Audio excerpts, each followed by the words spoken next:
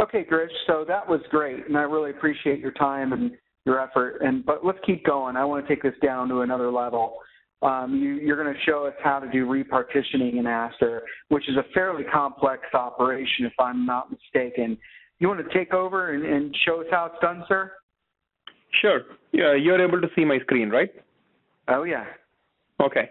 All right. So let's discuss uh, what is data repartitioning. As John mentioned, this is a fairly important operation to understand, uh, uh, both for both for uh, people that uh, set up the database administrators and people actually that uh, access the data, because that kind of will help you set the expectations in terms of what's going on on the system, what your query is doing, etc.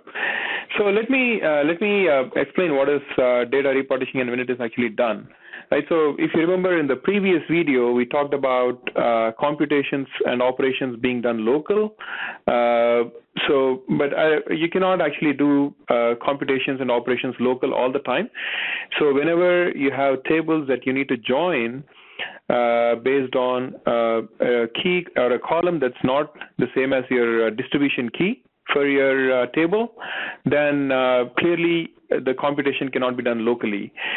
So, uh, for instance, you have a table whose uh, uh, whose uh, distribution key or the physical uh, partition key on which it's hashed and uh, spread into the worker, vworkers, is uh, click ID, and say for another table, uh, for the users table, uh, you actually are using your user ID as your physical distribution key, right? So mm-hmm. when you're joining these two tables on user ID, for uh, it's, a, it's it's a partition key or the distribution key for the user table, but not for the click table. So there is actually some repartitioning or uh, retransfer of data that needs to happen in the background. So uh, it, it's good for you to understand because there is some data transfer. So there may be uh, uh, some uh, I wouldn't say performance impact, but you actually need to understand that it's not fully local for so, some of so these this, queries. This this data shuffling is what you're talking about, right?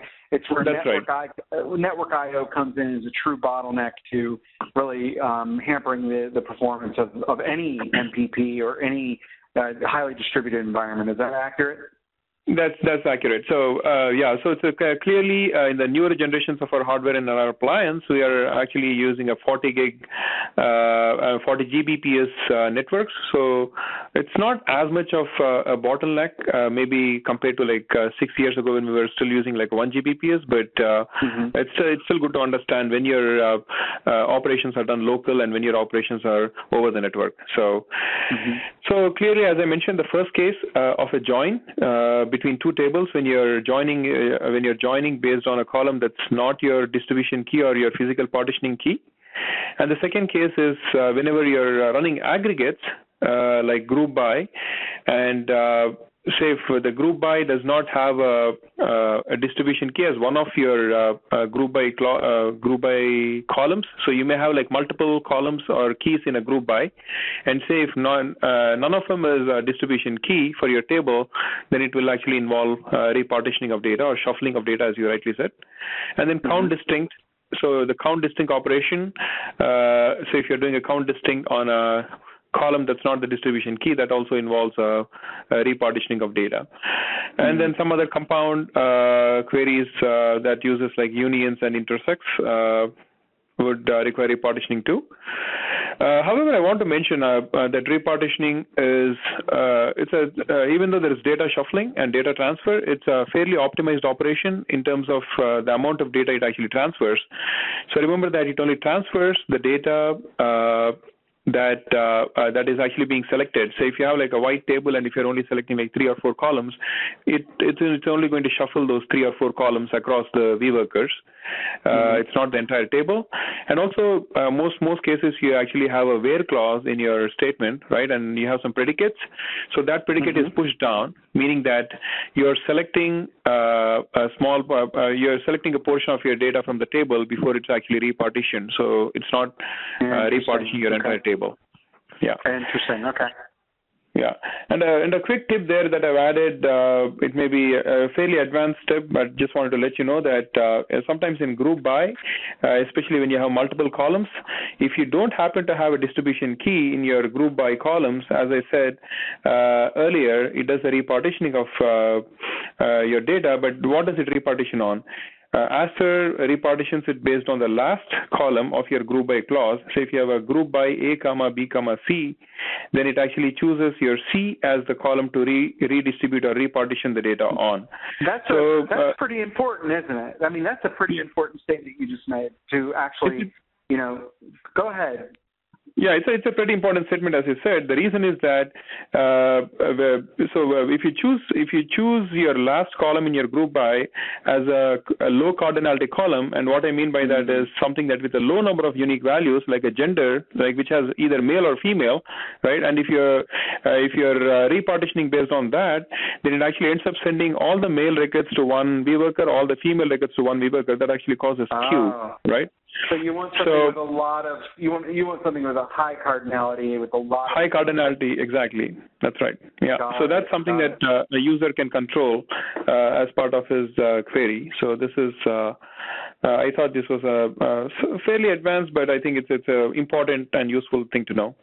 No, I think that's uh, I think it's, I think it's very useful to know, Girish. Thank you. Go ahead. Okay.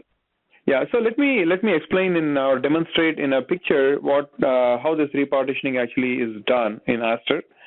So the, the, outer box or the at the top you see the workers and each of those two there are two workers and each of those workers have two V workers the small box and we are magnifying those small box uh, uh, the vworkers to actually see how the table is actually represented in uh, the vworkers. So we have two tables here and the user clicks and then the user zip so yeah, both of them are fact tables and uh, user click and user zip both of them have user id has their distribution key or their physical partitioning key. And uh, as as we know aster uses a hashing algorithm uh, to hash that distribution key when it actually loads the data and uh, sends it based on their ha- uh, hash distribution key. So the the hashing algorithm is more complex, but just for the simplicity or for sake of understanding here, say if it hashes based on this modulus of 10, right, and then if it is one, it sends uh, that data into one vworker. If it is uh, two, it sends it to another vworker, so on and so forth, right? Mm-hmm. And it uses the same hashing scheme for both uh, your user zip and user clicks, right? And so you know that all the user IDs that are present uh, in uh, a user clicks or user zip is actually going to be present in uh, user zip as well, right? On the same vworker. Okay. Because it's the same uh, distribution key for both. And so when you join uh, this query, uh, user zip and user click, on user ID, you know that the user ID can actually be joined locally within the same vworker because you know that uh, the uh, or Aster knows that uh, all the user IDs in user click uh, are present in on the same vworker for user zip as well. So it's it's a local join. Okay. And uh, so as you can see, the 11 uh, user ID here is also present in uh, 11 uh, in the user zip. Save that 11 uh, click ID uh, was not present here, you know that it's not present on any other vworker as well. So I'm not saying okay. that the exact set of user IDs are present on the same vworker. It's either present on the same vworker or it's not present anywhere. So you know that it can be done locally. So okay. so what you're doing here is you you have mm-hmm. two different tables. You have mm-hmm. two different tables, and they're they're distributed on the same hash key. And right. so what what you're doing is is that both uh, sets of data for both tables have the same sets of data. So that when you do join them, there's no data mm-hmm. shuffling going on between not only the V workers but also the workers themselves. Is that correct? Precisely. Yes, that's right. So uh, yeah, that's exactly uh, in a nutshell of uh, what this what this uh, uh, query is uh, doing in terms of not repartitioning, right? Now let's take a second example. So I'm going to use the same tables, but however, I'm actually going to assume the user clicks is actually it's not distributed by user ID in this case, but it's actually distributed by a click ID which is another column in the user clicks table. Whereas for the user zip table, I'm still going to have user ID as the uh, physical partition key. So uh, this is a different scenario where the I'm recreating the user click table such that click ID is my uh, distribution key for whatever reason. And say if you join these two tables, these two fact tables, based on the user ID, uh, Aster immediately recognizes that for user zip, uh, you're joining on user ID, which happens to be the distribution key, and I marked it on red. Whereas for uh, the user clicks table, uh, you're joining by user ID, and user ID is not the distribution key for the user clicks table. Actually, click ID, mm-hmm. the one on red is right. So, however, mm-hmm. so uh, it's it's kind of transparent to the user, so the user doesn't have to worry about doing anything to this, except that he needs to understand that there is repartitioning uh, of data that is going on or shuffling of data that's going on, because the user ID is not uh, it's not guaranteed to be present uh, in the same way it's stored for user zip right? So in user zip, it's actually hashed by user ID. So you know that all the ones and 11s are present on uh, uh, vworker 1, whereas the 22s mm-hmm. and 42s hmm. are present on worker vworker 2. Whereas for uh, the user clicks, uh, the user ID is all over the place because it's actually hashed by click ID, right? So when you Got join it. by user ID, uh, you see that the 42 uh, user ID is present in vworker 2 for the user zip. That's the bottom table I'm referring to, whereas it's actually present on vworker 1 on uh, on the on the uh, for the user clicks table. So the what essentially happens is the user click is re uh, a temp table is created for the user clicks table such that it's uh, this time it's hashed on the uh, user ID. So there's a, a background operation of uh, a temp table that's uh, created with just the user ID as the uh, as one of the columns, and then it joins mm-hmm. this locally on uh, the vworkers now. Now you know that both this temp table that's been created is uh, local, and it has all the user IDs that you need. So the the operation between your uh, user zip and your temp user click is uh, done locally and then the temp user click is actually discarded. So that's uh, that's a fairly uh, complex uh, uh data repartitioning operation which the user uh, doesn't need to understand uh, all the nuts and bolts of it, but he just needs to understand that there is some shuffling going on whenever there is a join operation that happens. Okay. That does not involve the distribution key. Okay, so mm-hmm. this is the second type that we looked at. Uh, similar, so uh, think of this uh, even when you do a group by uh, that does not have a distribution key, uh, the, the the repartitioning happens in a similar fashion. Okay, and now the 3rd mm-hmm. example I want to talk about, which is uh, a, uh, so we talked about uh, a join between two fact tables, and uh, it's joined by the distribution key on both uh, fact tables. And in the second case, a join between two fact tables, but then the join is the join key is the distribution key for one, but not the distribution key for the other, which involved a repartitioning. Uh, and in third case, a join between a dimension and a fact table. Mm-hmm. So uh, so what needs to be understood is in Aster, there are two types of tables uh, that are natively supported, a fact table and a dimension table. So by default, all the fact tables are uh, redistrib- uh, no, all the fact tables are distributed by the by the distribution key. So when you create a fact table, it forces you to specify a distribution key so that Aster uh, uh, spreads the data across uh, across all the vworkers and workers based on the distribution mm-hmm. key. So mm-hmm. whereas for a dimension table, you uh, create a dimension table that actually is stored as the whole table on each vworker, which means that uh, a dimension table contains all of the data on all the workers. So mm-hmm. uh, precisely for that reason, as a data modeler, uh, you would only create dimension tables for the lookup tables, not for large, super large event tables, but for lookup tables.